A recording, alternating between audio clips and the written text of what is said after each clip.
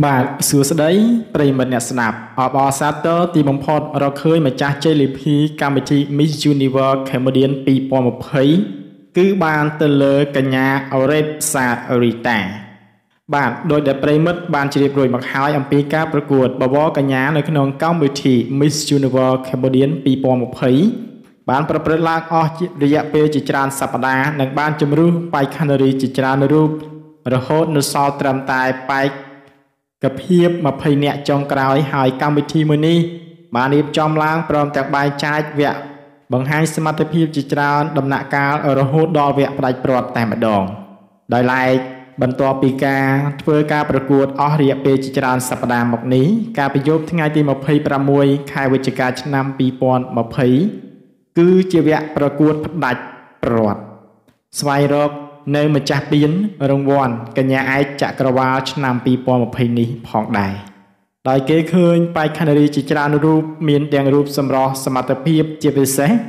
ឆ្លើយទៅនឹងសំណួរជាភាសាអង់គ្លេសបានយ៉ាងស្ទាត់ជំនាញ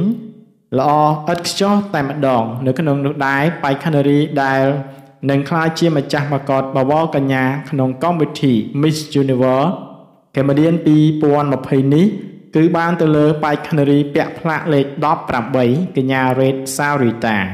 គួរបញ្ជាក់ផងដែរថាកញ្ញារ៉េតសារីតា ជាបេក្ខនារីមួយរូបដែលមានភាពលេចធ្លោខ្លាំងចាប់តាំងពីចាប់ផ្ដើមការប្រកួតដំបូងមកម្ល៉េះហើយអ្វីដែលកាន់តែពិសេសនោះនាងបានបង្ហាញនៅសមត្ថភាពអស្ចារ្យនិងភាពជឿជាក់របស់នាងយ៉ាងពេញទំហឹងតែម្ដង។ ជាក់ស្ដែងបន្ទាប់ពីប្រកាសលទ្ធផលថាកញ្ញា Red Saudita ជាប់ជាម្ចាស់មកកតរួចមក មានទស្សនិកជននិង fan fan ជាច្រើន បានសម្ដែងនៅក្តីរំភើបនិងចូលរួមអបអរសាទរដល់នាងគ្រប់គ្នាតែម្ដង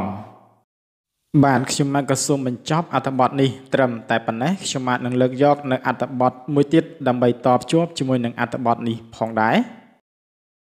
បាទសួស្តីប្រិមិត្តទាំងអស់ នារីស្រស់ស្អាតពីរនាក់ប្រកាសថាជាគូសង្សារនឹងគ្នាបង្កភាពភ្ញាក់ផ្អើលខ្លាំងជាការពិតណាស់គេថាស្នេហាពិតជាមិនប្រកាន់មានក្រវណ្ណៈមាសប្រាក់យុស័កនោះឡើយឲ្យតែមានស្នេហាពិតនឹងគ្នាទ្រព្យសម្បត្តិគ្រាន់តែជារបស់ក្រៅខ្លួន សំខាន់ស្រឡាញ់គ្នាស្មោះនិងអាចរួមរស់នៅជាមួយគ្នាប៉ុណ្ណោះ ជាក់ស្ដែងគូស្នេហ៍មួយគូថ្មី មានរឿងភ្ញាក់ផ្អើលមួយ នៅក្នុងបណ្ដាញសង្គម Facebook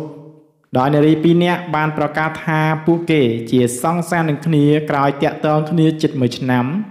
ដែលធ្វើឲ្យមនុស្សជាច្រើនមានការច្រណែននឹងពួកគេយ៉ាងខ្លាំងដោយឡែកបើតាមប្រភពព័ត៌មានបានឲ្យដឹងថានារីទាំងពីរនាក់នេះទើបតែមានវ័យ22ឆ្នាំដូចគ្នា តែប៉ុណ្ណោះ ហើយជាពិសេសក៏មានសម្រស់មិនចាញ់គ្នាប៉ុន្មានទេប៉ុន្តែអ្វីដែលកាន់តែចាប់អារម្មណ៍និងចំណុចពិសេសនោះគឺក្នុងចំណោមអ្នកទាំងពីរគ្មានអ្នកណាម្នាក់តែងខ្លួនជាប្រុសនោះទេ គឺនៅតែលេងខ្លួនជាមនុស្សស្រីដូចគ្នាយ៉ាងដូច្នោះដែរជាក់ស្ដែងរឿងរ៉ាវរបស់ពួកគេ ក៏នៅតែមានអ្នកខ្លះបានគិតថាគ្រាន់តែជាការសម្ដែងរបស់ពួកគេឲ្យគេចាប់អារម្មណ៍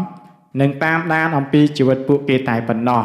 ព្រោះថាអ្នកទាំងពីរសុទ្ធតែស្អាតស្អាតដូចគ្នាមិនអាចមកស្រឡាញ់គ្នាបែបនេះបានទេ